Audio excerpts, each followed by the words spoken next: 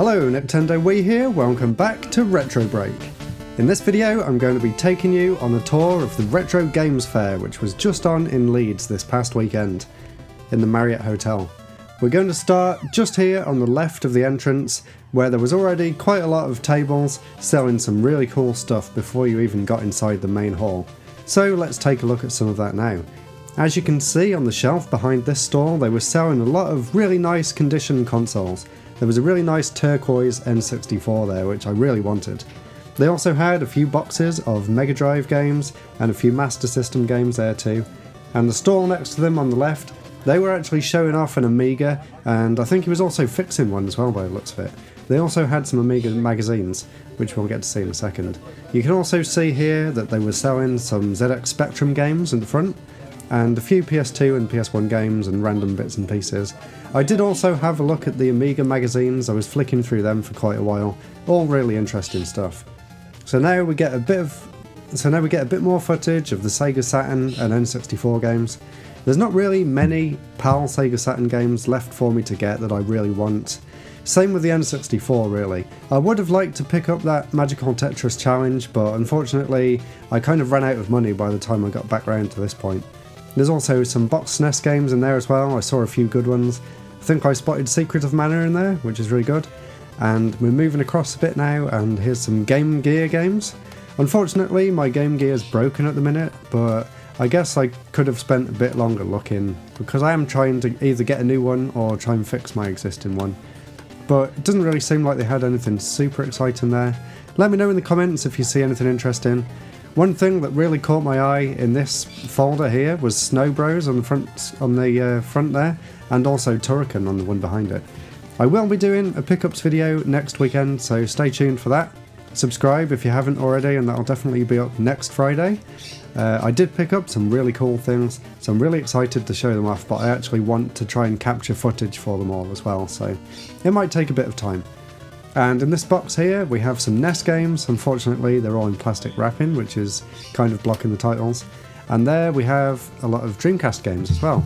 Some really good ones in there. I spotted Toy, Toy Racer, that's a really good game. There was uh, Tony Hawk, and a few N64 games. The nice gold cart of Ocarina of Time, which I actually don't have. All I have is the original grey cart. That's a kind of sad story, but maybe that's for another day. And this store here, this one was selling mostly anime figures and a few PS4 games there. There's Dragon Quest Heroes, Shenmue, I think I saw Star Ocean. And that's basically the end of that, so now we're turning left and heading into the main hall.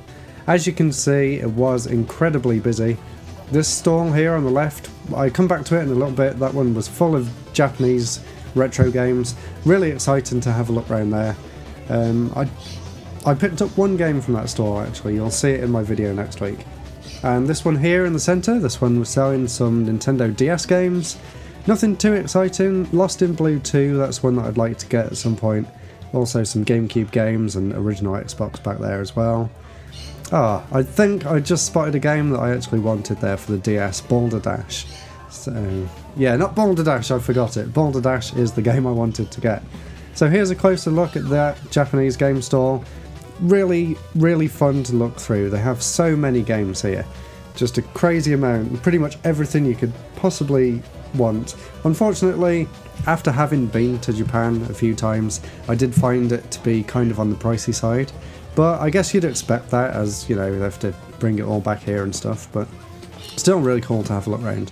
They did actually have a few boxes of PC Engine games, both uh, HuCards and CD games. They also had load of Dreamcast games, Japanese Dreamcast games, and some Mega Drive ones, which I'm having a look through here. If you know, if you notice any games here that are really good, let me know because these guys are at a lot of different events. So I'm sure I'll be able to uh, have another look through it all in the future. And there's some more Japanese Dreamcast games there, uh, Japanese Mega Drive games, sorry. So if you see anything you like the look of, let me know in the comments and now some N64 and SNES cartridges. Um, again, with the SNES and N64, it's getting really hard to actually find new things to buy for it, just because I pretty much have everything already. And there's a few of the more expensive games at the back there, just panning across. You can see some really, really good games there. 150 quid for Mega Man 7 on the SNES. Not sure if it's worth quite that much. It's one of the weaker Mega, Mega Man games. Sorry if I offended anyone. And there's some more boxed SNES and NES games there Super Street Fighter 2, or Street Fighter 2 Turbo, and Super Star Wars. And another quick look at the cartridges there as well. So this stall's always really cool to see. They always have some really rare games at the back there. Hopefully I managed to get a bit of a better look. You can see there Landstalker, Ristar, Splatterhouse 2, Shinobi 3, which is one that I always look at but never actually pick up. Maybe one day. I'm trying to get it for 50 quid though, and I keep seeing it for either 55 or 60. And I know that's being really picky and I may as well get it, but I'm always slightly hopeful that I'll find it for 50. And now we're on the other side of the hall here, and there's some more SNES and N64 games, and a load of GameCube games there in the box as well. Really good prices on them GameCube games actually, maybe I should have picked a few up. And a lot more Dreamcast games. Um, feel free to pause the video at any point if you want to have a look at the games. I have recorded it in 4K, so hopefully it's really clear for you to actually see what I'm looking at here. And I'm just having a little bit of a flick through the Game Boy Advance games here, see if anything interesting catches my eye. I know they had a few of the Mega Man Battle Network games. There was Battle Network 3. Also spotted um, basically all the Mario Advance games, which is really cool. Unfortunately, there wasn't Oh yeah, another really interesting game that I saw was Jazz Jackrabbit for the uh, Game Boy Advance. It was 20 quid, which I thought was kind of expensive just for a cartridge, but it would be really interesting to see uh, what Jazz Jackrabbit looked like on the GBA. I only ever played the PC version back in the day. As you can see there, there's another Mega Man Battle Network game. And I can also see Battle Network Battle Chip Challenge, which is uh, apparently not very good. It's just the battles and none of the RPG elements, which is a bit of a shame. And now we're on a different stall uh, with some just seemingly games displayed at random, no real order to them. Um, what did I spot there? Life Force on the NES, which is a game that I really want. Coaster Works on the Dreamcast. I remember downloading that one back in the day and playing it on a CD, CDR through the Dreamcast. Shouldn't really admit that. Also, there's a few loose SNES games there. There was Yoshi's Island, um, all the stuff you'd expect really, Tetris and Dr. Mario. Um, I didn't really spend too much time looking at the PS1 games because I'm not super interested in the PS1 at the moment, maybe in the future, but I suppose I was mostly on the lookout for Game Boy and Game Boy Advance, um, a bit of Sega Saturn, but yeah, I picked up one Sega Saturn game, which I'll see in the next episode. There's some blue box Mega Drive games there, some really good ones, and the uh, the classic black box games as well. Zero Wing, that's one that I always want, mostly just for the meme. Uh, there was also some Duke Nukem games there. I will say one of the games that I picked up was Duke Nukem 3D for the N64, but unfortunately, when you've got as many games as me, you're bound to pick up a few duplicates, and it turns out I already had Duke Nukem 64, so the one that I didn't have was Duke Nukem Zero Hour, and you can see why I kind of got confused because they look basically exactly the same. Here's some more box SNES games. Stunt Race FX is an amazing game. If you haven't played that one, highly recommend it. One of my very first racing games I ever played, and it's very impressive the use of the Super FX chip and stuff like that. There's also a few more rare games at the back there. I've slowed it down a little bit. There's Mega Man X5, Cooler World for the PlayStation original. Uh, that's a game that I really want to get at some point. I love the demo that was on one of the McDonald's game discs. And here's another box of boxes, uh, games in boxes. And I actually caught this guy knocking loads of things over, so that was kind of funny. So, unfortunately, um, I felt a bit bad recording after that, so I turned it off pretty quick. Now, these Game Boy games here, they were basically giving these away, um, like a pound each or something. So I picked up a big handful of original Game Boy games to add to my ever growing Game Boy collection. I'm on about 200 games now for the UK Game Boy library, so almost there. There's an Atari original, and I think there was also a Neo Geo CD there as well, which is really cool. And um, what do we have here? Some Japanese SNES games and a Commodore 64 in the box, and a ZX Spectrum, and a ZX81 I think was there as well. Yeah, Spectrum Plus and an 81. Unfortunately, I couldn't find any Commodore 64 games, which is something I was really looking out for. There was also a stall here selling some retro magazines and random bits and pieces. And here's some more Japanese Mega Drive games. Surprisingly, there was quite a lot of Japanese Mega Drive games, considering the Mega Drive wasn't super popular in Japan itself, so it's always really cool to see. I love the box art on the Japanese Mega Drive games. Looks absolutely stunning. There was also a box down there with some loose NES games in. Um, and on this store here, I found two Atari Lynx games. Um, they were something that I was really looking out for. Um, I don't know if you've seen it already, but one of the first videos I did this year was my Atari Lynx pickups and sort of a review of the system. I actually managed to get a lot of games earlier this year for the Lynx and the console, so definitely on the lookout for some more games for that in the future and there's uh, just a few more stalls to go in this area then we'll have a quick look at the other side. So there was Lock and Chase for the Game Boy there. That's a game that I've been looking for for a long time. There's also some uh, yeah I'd never seen this one before but it turned out just to be a basketball game so I put it back pretty quick. Um, yeah there was loads of Game Boy games to flick through. They pretty much had every game you could possibly want here. It, although it's getting to the point now where there's only uh, very few Game Boy games that I can actually buy that are actually affordable. There was actually a few Neo Geo Pocket games in there, which was really cool to see. I didn't pick any up, but it's always nice to see something that's not just Game Boy or Game Boy Advance sort of thing. And once again, there was a few more of the rarer titles at the back there. I think I saw Shinobi X for the Sega Saturn. They were selling that for 100, I think. I'm not sure if that's good or not.